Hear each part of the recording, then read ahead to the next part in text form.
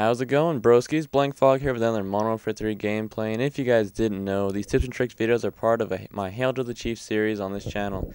Now, this series is going to be getting better and more in-depth as I go along in the game, but for right now, it's a little early, so I can't be bringing you, you know, the most game-breaking, crazy MLG pro tips there are, but I can give you very helpful tips and insight on the maps, guns, and perks of the game. So, in this game, I'm going to be on the British map, Underground, using the Type 95 Red Dot with Rapid Fire, along with the FMG-9 Akimbo, Semtex and Flash Grenades are how I'm going to roll in this game, and my perks consist of Scavenger, Hardline, and Steady Aim. I'll be using the Specialist Strike package, which if you guys don't know, are uh, a package that gives you reward perks, or perk rewards, instead of uh, killstreak rewards like UAVs and choppers. The uh, perks in this package I'm going to be using are Sleight of Hand, Extreme Conditioning, and Quick Draw. And in this game I won't be using the Chinese Firecracker, which is the uh, Type 95 right here, but I'll be using the crazy awesome FMG9s. Now you may be asking yourself, why are you using Quick Draw if you have akimbo guns? Well, the pro version of this lets me throw grenades and stuff really, really quickly, and I like that. So anyway guys, I'm running here by the bus with my awesome akimbo guns, and this guy has no choice but to die, because these things with steady aim is just, it's unbelievably powerful, because the fire rate and the, the accuracy of these things are incredible, and when you use them, you might always, you might want to use as much cover as you can, because in the open, while you might win a lot of gunfights, even really far range, you're not gonna, you're not gonna beat probably like an M16 or an ACR, you know, if they're behind cover you're not. But I mean, look at that. Akimbo gun's that far away, and here I don't know what I was doing. Just kind of trying to outsmart this guy. I think he, I think he's dead up there. But I run up here anyway just to see. And this guy's dead. Oh, quick draw pro right there. Now, when you want, this is probably the best class I have, like, ever. And with the Type 95, it's great gun. Super powerful, super strong. That guy gets dropped again. And I think, uh, no, there's not a guy over here. But the Type 95 is a great gun. Put rapid fire on it, it's even better have the red dot slot on it, and it's like super accurate. Now these FMG9s, they're they're crazy akimboed and steady aim. You can you probably can win every gunfight. So this class to you guys, I would definitely recommend. And this guy gets outsmarted here. Look at you. What you doing? And so what you want to do is put the perks and stuff I've listed above or listed earlier. Except you might not want quick draw. Just uh, maybe like sit rep or mm, maybe that blast shield, whatever you can have your third specialist perk is whatever you want, because when you get, I wouldn't recommend dead silence, pretty much because after you get all seven, uh, if you after you get like a seven kill streak or something with your specialist, you become totally silent for some reason. I'm not sure why. I guess it's just a bonus. And I saw that guy over there, but I decided to come get this guy because he was sitting in the back of this map forever. And so when you guys create this class, and I got sniped, when you guys create this class, definitely keep in mind of how powerful and useful it is. This is my favorite class, and I feel like I don't do as well if I don't use it. But you see when I whip out those guns and I kind of flip them around, that's really annoying and I can get you killed. And I'm sure you've heard this in a hundred videos already. But when you whip those things out in the beginning of your life, possibly like double tap Y or like knife right when you pull them out so they don't do that flippy and the flippy flip.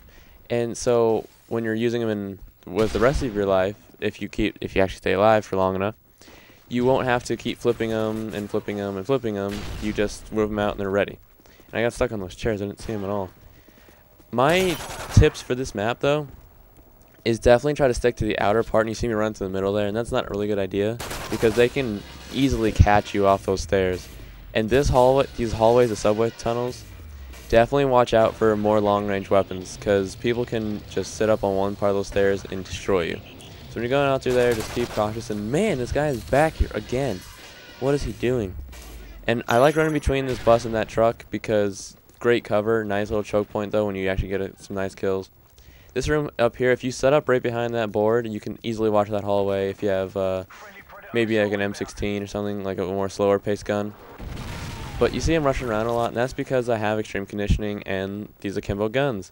And that's why you pick extreme conditioning is because this is your more rushy class. And this class I love because I love to rush. And, you know, I haven't really been able to in a lot, in Black Ops especially, because the guns just weren't that great for me. And I didn't, I didn't have uh, the, the passion I wanted to rush with.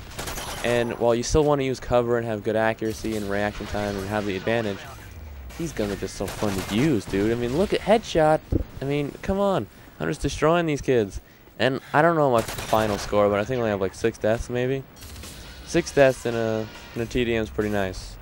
And you'll see I keep running the same route over and over again around the map, and that's because I know where they're gonna spawn because I keep flipping from one side to the other. And now this guy has two dudes with him. I mean, really, bro, get get at me, get a, get a new spot too, cause you went Grizz, baby. And now I know they switch spots over there, so I'm running, running, running to catch them at the spawn because I either want to, remember, you want to move smart. I'm either going to intercept the enemy, have a, the advantage over the enemy, or just run for the objective. Well, it's a TDM, and the objective is to kill, kill, kill. So I'm running for the objective, definitely. And, oh, oh, oh, jeez, you got outplayed.